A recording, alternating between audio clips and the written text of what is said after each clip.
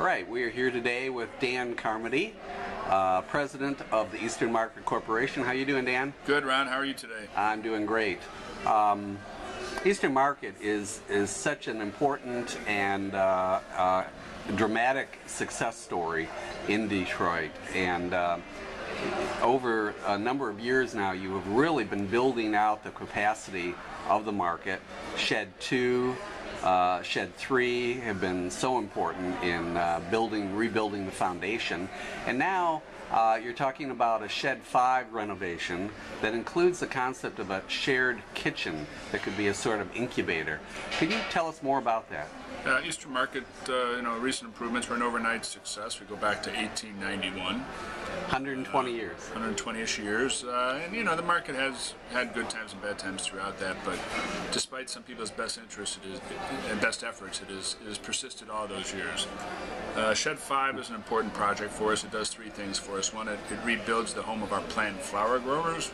The rear portion of that shed will be focused on plant flowers and quite frankly, that's a really important piece of the market business. It's our spring is our busiest time, and they're the ones that have been hurt the most by the uh, depression. Uh, food is not as optional as flowers, so it just goes to sense that flower growers are hurting a little bit. We've lost a few of them over the last few years, so we're happy to provide a better sales facility for them. But the intriguing part from a long-term market development standpoint is the shared use community kitchen. Uh, that'll be in Shed 5, at the front part towards the street and it will provide us a, space to do really three different things. One is um, to be able to continue the incubation of people making specialty food products. Three or four years ago, there were no specialty food products at Eastern Market. Today, if you go there on average Saturday, there's 40-ish vendors selling everything from pickles to pierogies to pasta to custard pies. And uh, we think that's really important from a job creation standpoint going forward. Some of those entrepreneurs uh, have access to kitchens, others don't. Uh, we have a guy that sells 400 pounds of sausage a week because that's how much he can make in the time he borrows from a restaurant kitchen he can get his gets access to. The, the corridor guys. Yeah.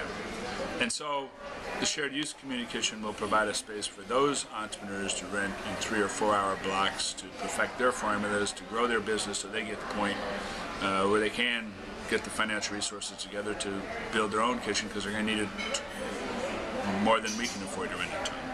So it's another step in their evolution. Um, the successful community kitchens we've seen uh, tend to rent to caterers and to people making specialty foods for farmer market sales.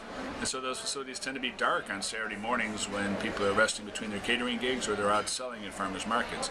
That's the time we put 30 to 40,000 people through past this space on a, our peak Saturdays. So we want to have the 9 o'clock class for diabetics, the 10 o'clock class for teenage pregnant moms, the 11 o'clock class for balding fat white guys. Um, whatever whatever it is, a, it, becomes a place where we can conduct a lot of educational programming around healthy eating. Yes. And so we think that's important. So we have really one of the most important urban agriculture movements in the city of Detroit uh, globally. It's of great significance. And I know what is on a lot of people's minds is how do we leverage that foundation of all those gardens and farms to the next level of creating opportunity for uh, value-added, uh, private label, specialty food companies. So we begin to really create another layer, another level of uh, economic opportunity. And that's, that's where the market can play a role as a hub. And so this shared use communication is just one aspect of that build out of, of food processing and distribution and food retailing. So when people talk about urban agriculture, I think that's a it's a really poorly chosen term because it limits your thinking to really the just the growing of food.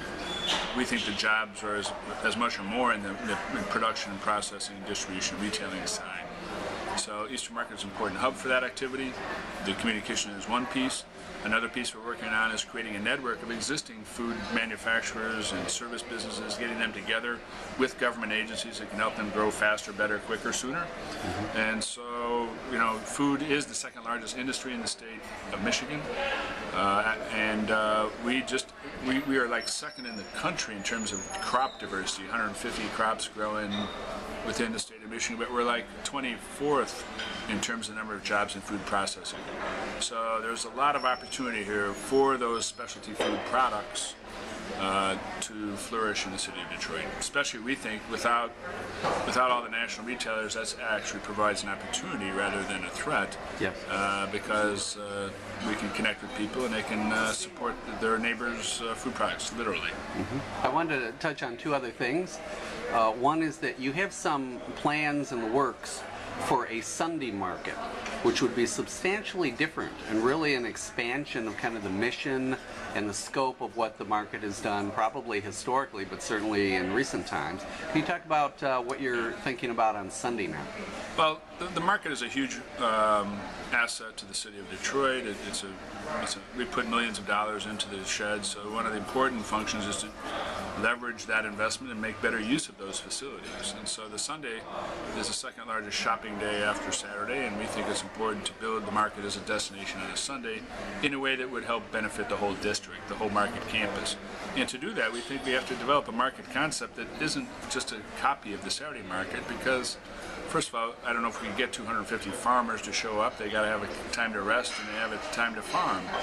Uh, so it, the, just replicating the Saturday market, which is 85% about food and maybe 15% about other stuff, probably not likely.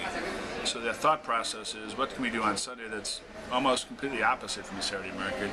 85% about stuff and maybe 15% about food. And that stuff would be maybe using Shed 3, for example, our premier indoor shed as a place for the sale of antiques and collectibles and flea market items uh, and Michigan-made arts and crafts as a featured item.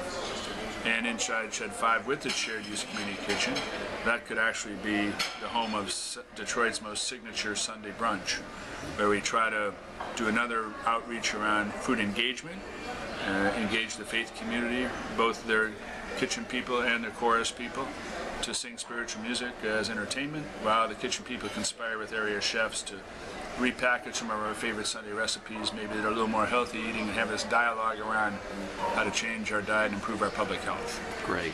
So we think those are the component parts of a Sunday market would be completely different, but maybe as successful as a Saturday market. In the in the kitchen, the shared kitchen space uh, figures prominently both in the Sunday aspect as well as uh, the incubation side of it. Yeah, the, the, the, the shared use community again, kitchen again, incubation, education, and catering facilities for particularly events on market, but also for caterers that just want a conveniently located kitchen in central Detroit. And if people want more information about any of these uh, new plans, want to be part of the planning, want to participate, how can they reach you? Best way is to go through our website, which a lot of this information is contained on. That's www.detroiteasternmarket.com. Dan, thank you so much for your time today. Thanks, Ron.